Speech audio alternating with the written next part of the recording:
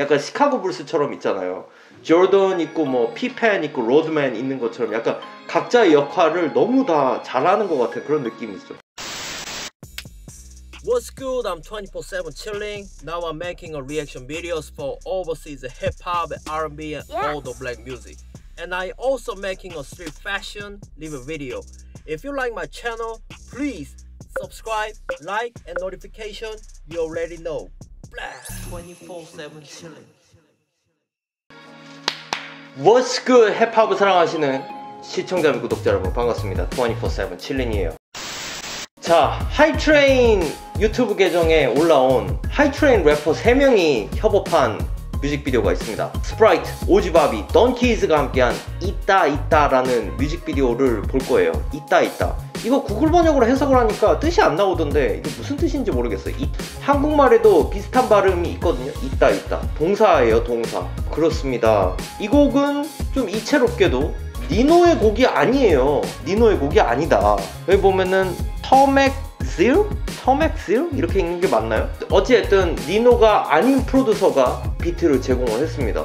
뭐 좀 이채로운데 또 하나 흥미로운 점 하나 더 있습니다. 제가 재작년인가요? 영국 grime drill reaction video 막 찍었을 때였어요. 2019년도로 거슬러 올라가면 그때 이제 영국에는 그라인과 드릴 외에도 래퍼들 사이에서 인기 있는 음악 장르가 하나 더 있었는데 아프로비트였습니다. 아프로비트. 아프로비트가 그라인과 드릴 같이 좀 묵직하고 남성적인 음악과 달리 섬세하고 유연하고 진짜 파리튠이잖아요.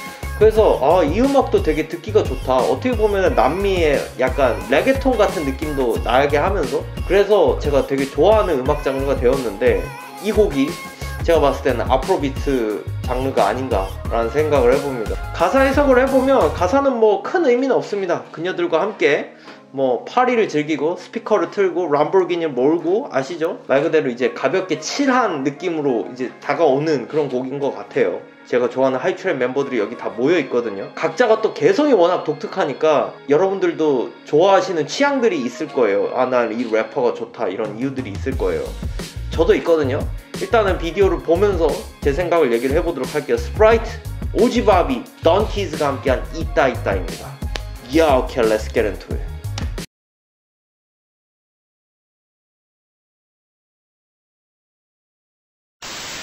Yup, are you enjoying watching my video? Have you still not subscribed to my channel?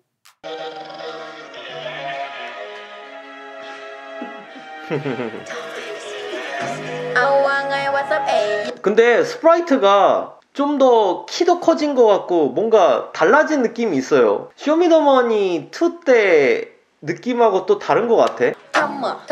어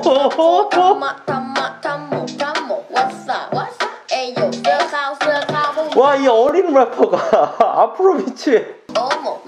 máy sọ bố bố lên vô vô 에이. 아. 근데 잘 보면은 이렇게 하이트레인에서 나오는 뮤직비디오들 보면 되게 하우스 파티를 즐길 수 있는 뮤직비디오들이 되게 많은 것 같아. 뮤직비디오 배경도 그렇고 아무래도 뭐 코로나 바이러스 때문에 아무래도 다들 이제 집에서 칠하게 즐길 수 있는 음악들이 요즘엔 많이 대두되다 보니까 약간 그런 느낌으로 뮤직비디오들이 나오는 것 같아요. 이건 뭐 개인적인 생각입니다. 아 진짜 잘한다.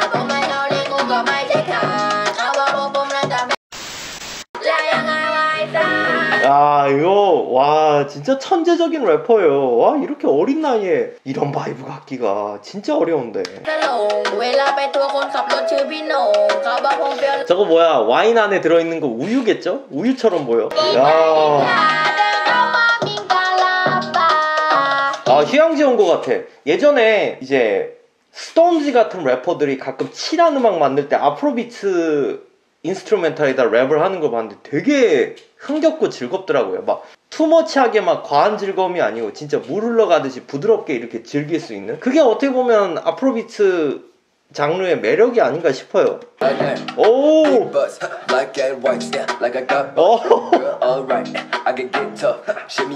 와 오지바비가 목소리가 워낙 돕하고 좀 남성적인 느낌이 있잖아요. 어 근데 꽤나 잘 어울리네. 이렇게 칠한 비트에도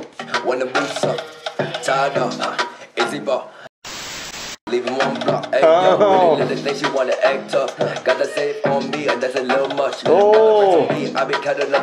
그 뭔가 절제된 그런 느낌들이 있어요. 근데 그게 되게 좀 세련되게 flow를 짠 것 같아.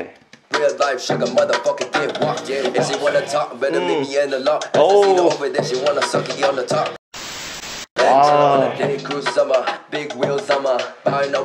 아. 아, flow 보세요.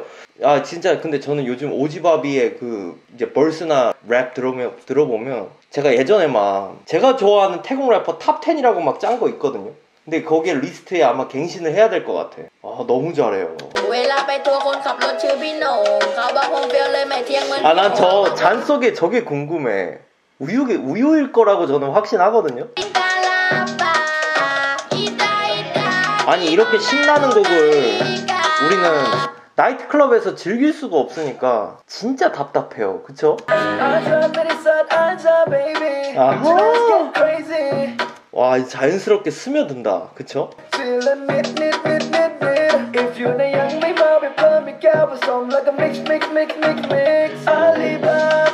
근데 난 저 궁금한 게 항상 미국 힙합 뮤직비디오도 어떤 힙합 뮤직비디오를 보든 이 하우스 파티에는 항상 빨간 컵을 쓴단 말이에요. 왜 흰 컵도 있고 다양한 색깔의 컵이 있는데 난 왜 빨간 컵을 사용하는지 모르겠어. 예전에 릴웨인도 그랬고 저는 가끔 이런 엉뚱한 질문들을 한번 생각을 해보거든요. 아.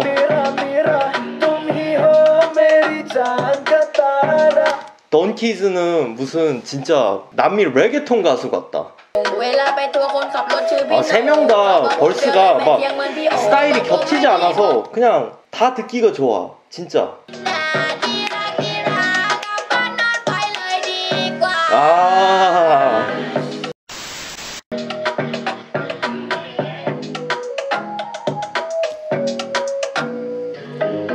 아, 너무 좋아요. 그쵸? 태국 음악 씬에 이렇게 좀 완성도 있는 Afrobeat 음악 들어보는 게 처음인 것 같아. 사실 이런 vibe는 뭐 영국 래퍼들만 한 게 아니라 이제 뭐 드레이크 같은 래퍼들도 많이 이제 시도한 장르기도 해서 이제 많이 알려지기도 했는데 Asian vibe로 이렇게 멋있게 표현하는 거는 이 곡이 거의 처음인 것 같아요. 그리고 세 명이 각자가 캐릭터가 워낙 개성이 있으니까 각자 verse 듣는 재미들이 다 있단 말이에요. 여러분들 누구 verse가 되게 듣기 좋았나요? 아, 저는 솔직히 너무 다 좋았어. 그냥 한 명 한 명 그냥 리뷰 해보면 화이트 같은 경우는 어린 나이임에도 불구하고 이미 어떤 성인 래퍼들이 갖고 있는 vibe들을 verse에다가 표현을 하니까 그냥 들을 때마다 와, 와, 이렇게 놀래, 놀래는 그런 재미가 있고 OG BOBBY는 목소리가 도파인데도 되게 잘 어울려요. 뭐 이유는 모르겠어. 되게 잘 어울려. 근데 되게 절제 있게, 절제 있으면서 되게 스킬풀하게 뱉는 게 그게 되게 인상적이었고 던키즈 같은 경우는 랩이 아니고 거의 노래를 했잖아요. 그냥 전 느낌이 그냥 남미의 레게톤 가수인 줄 알았어. 어, 이거 세 명의 매력이 다 있어요. 그래서 어, 저는 뭐 누구의 벌스가 와 이건 뭐 가장 돋보였다라고 뭐 얘기하기가 어려울 것 같아. 그냥 다 좋아, 진짜. 그냥 하나의 이 세 명이 그냥 하나의 팀 같았어요. 약간 시카고 불스처럼 있잖아요. 조던 있고 뭐 피펜 있고 로드맨 있는 것처럼 약간 각자의 역할을 너무 다 잘하는 것 같은 그런 느낌이 있어요. Afrobeat 정말 제가 좋아하는 장르입니다. 좋아하는 장르인데 요즘 같은 시기에는 한계가 있죠. 이걸 즐기기에는 한국 같은 경우는 집에서밖에 즐길 수가 없다. 뭐 가령 태국 같은 경우는 인스타그램 보면 나이트클럽에서 이제 래퍼들이 공연하는 모습도 볼 수 있는데 한국은 아직도 아직도 공연 자체를 절대 할 수가 없습니다. 그렇기 때문에 그냥 이 영상을 찍고 있는 이 순간만이라도 그냥 즐길 수 있다는 것 자체를 저는 그냥 신에게 감사해야겠다라고 그냥 생각하면서 살고 있는 것 같아요. 어쨌든 그만큼 굉장히 끝내주는 곡이었다는 거. 자, 여러분들의 의견은 어떠신지 모르겠습니다. 의견이 있으신 분들은 댓글로 많이 남겨주시고 저희 24-7 7인 채널이 마음에 드시면 구독, 좋아요, 알람 설정을 해주시기를 부탁을 드리겠습니다. 저는 다음에 더 재밌는 영상으로 다시 돌아올 수 있도록 하겠습니다. 여러분, 감사합니다. Peace out. 컵. If you want to watch more videos,